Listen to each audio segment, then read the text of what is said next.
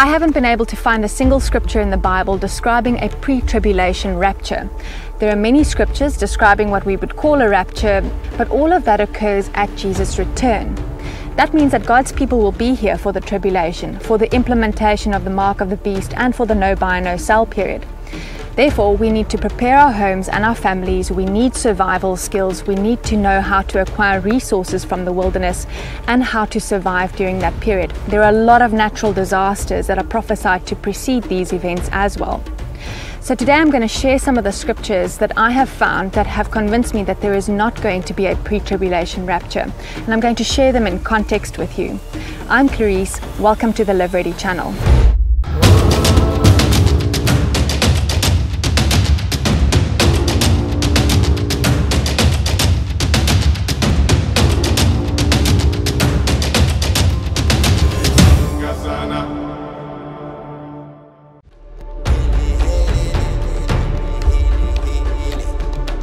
Now, this video is not to discourage you. Instead, we should be encouraged.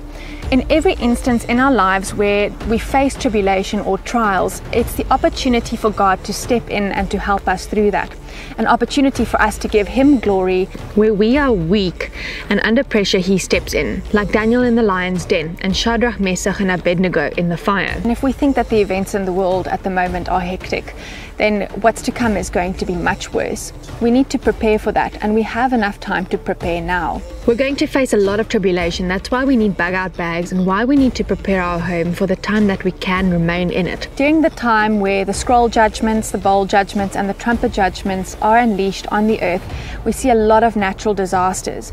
We see the depletion of resources, we see famine, we see um, a lot of death and destruction, and the resources and the lifestyle that we know now are not going to exist during that time. As far as a rapture goes, God has never removed his people from the face of their adversaries or from the face of tribulation, but he's been in the fire with us and he's been there to take us through the sea. I feel it's really important for every person who lives a lifestyle of preparedness or who is a survivalist to share this because there are so many people who say that they don't need to be prepared, they don't need survival skills because they won't be here for the tribulation because they will be raptured.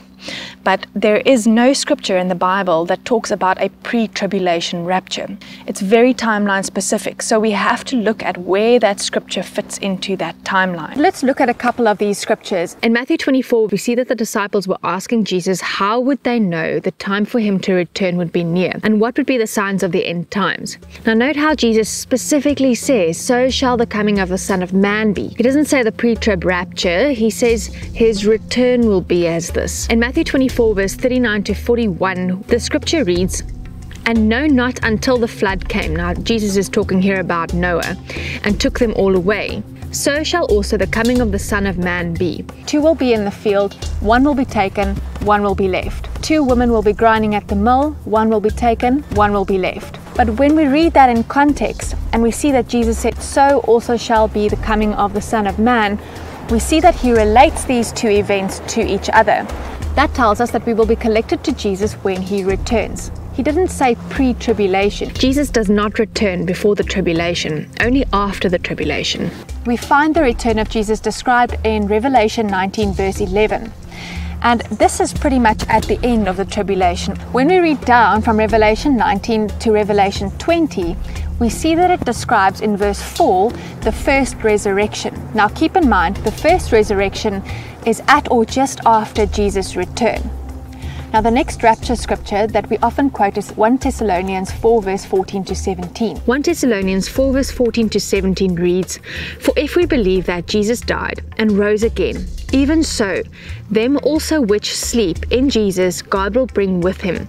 For this we say unto you by the word of the Lord, that we which are alive and remain unto the coming of the Lord shall not prevent them which are asleep. For the Lord himself shall descend from heaven with a shout, with the voice of the archangel, and with the trump of God, and the dead in Christ shall rise first. Then we, which are alive and remain, shall be caught up together with them in the clouds to meet the Lord in the air. So shall we ever be with the Lord.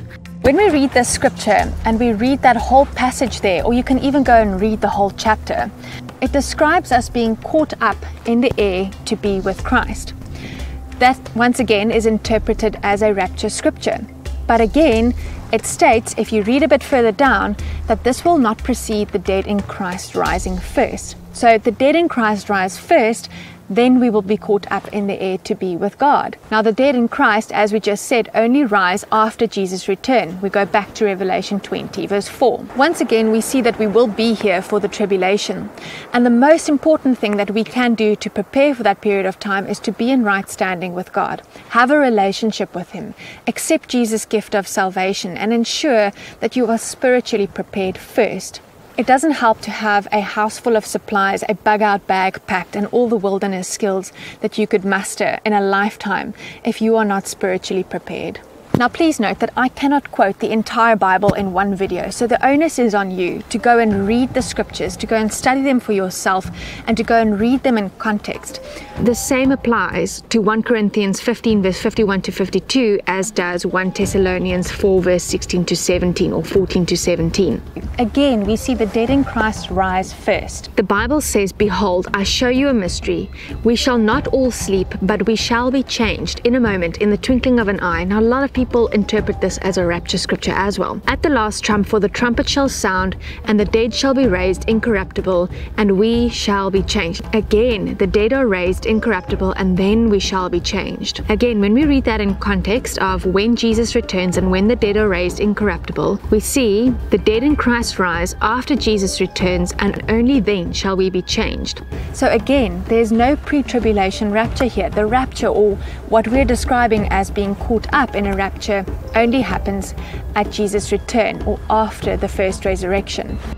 That means that we need to prepare ourselves for the events that occur during the tribulation. If a great earthquake comes, we need to know what to do.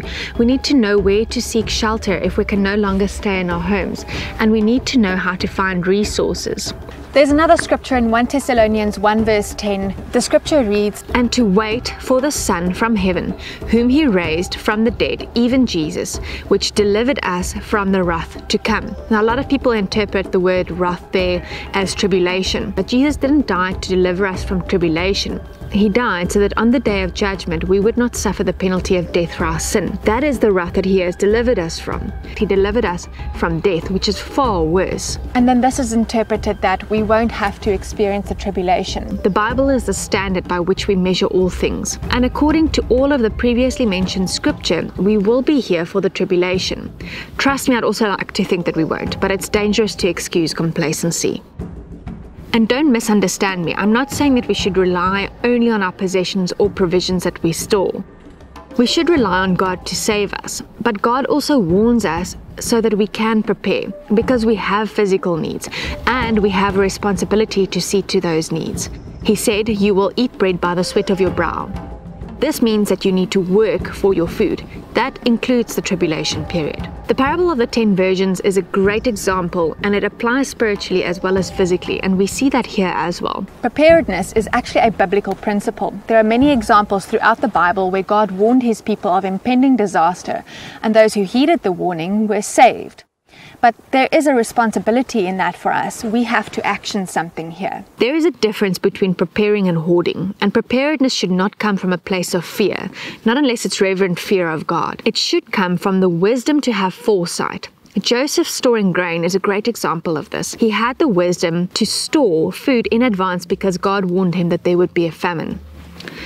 And for anyone who thinks you're crazy to prepare, people still ridicule Noah to this day for having built an ark. Now, having said that, there is no way to determine exactly what day or hour these things will be implemented. And whatever you have prepared and not needed, God will use to help others. It's better to be prepared and not need it than not be prepared. Again, we think of the parable of the ten virgins. It's also why we store some provisions for ourselves, so that when it comes to the no buy, no sell period, at least for a period of time, we will have some provisions. It's also why we have to own our survival skills, so that if we need to acquire resources from the wilderness, we can do that too. So we need to prepare for the no buy, no sell period that we are warned about. There are many ways to do this, even without finances. Skills are free. Learn survival skills. We need to learn how to build shelters, how to navigate, how to use com systems. We need to know how to source water and how to make fire. If you're watching this at a moment when you should have been prepared, but you either delayed or you didn't have the means, the most important thing you can do to prepare is to have a relationship with God. Couple of things that you can start doing to prepare. And I want to remind you that there are a lot of natural disasters prophesied in the book of Revelation. We're talking earthquakes, famine, our usual food and water sources depleted or contaminated, the destruction of the earth, the vegetation, that includes our food, hail and other disasters that will see homes and shelters demolished. That's why we have to pack bug out bags so that if we are displaced from our homes, we can actually survive outside of our normal environment.